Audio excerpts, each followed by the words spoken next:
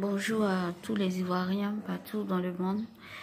Euh, cette petite vidéo là, c'est pour m'adresser à tous ceux euh, qui disent aujourd'hui qu'ils aiment Arafat, tous ceux qui parlent bien d'Arafat aujourd'hui et tout.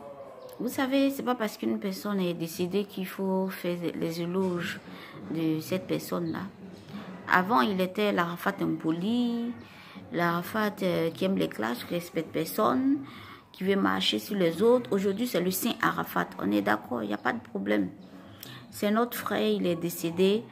On est tous touchés, on est tous tristes.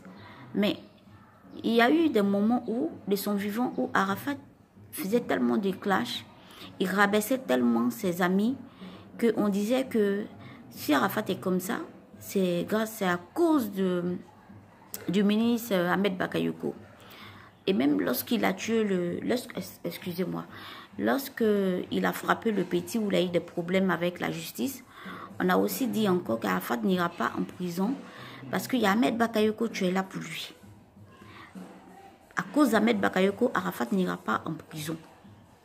Voilà, c'est ce, qui, ce qui a été dit. À chaque fois qu'il a été impoli avec une personne, on dit que c'est la faute d'Ahmed Bakayoko parce qu'il est avec lui, il est intouchable et tout et tout. Et aujourd'hui, je suis surpris d'entendre sur les réseaux sociaux que s'il est mort, c'est encore à cause d'Ahmed Bakayoko. C'est-à-dire, c'est lui qui a tué Arafat. Et ça, on n'entend que des chrétiens. C'est que des chrétiennes, des vieilles chrétiennes, des vieux chrétiens qui viennent et qui expliquent ces genres de, de, de, de bêtises là. S'il vous plaît, allez-y nettoyer l'église. Baladez-vous dans la rue, prêchez pour sauver des âmes, des grâces. Laissez Ahmed Bakayoko tranquille. Vous qui parlez là, vous n'avez pas eu la chance de côtoyer Arafat. Lui, il a eu la chance de côtoyer Arafat.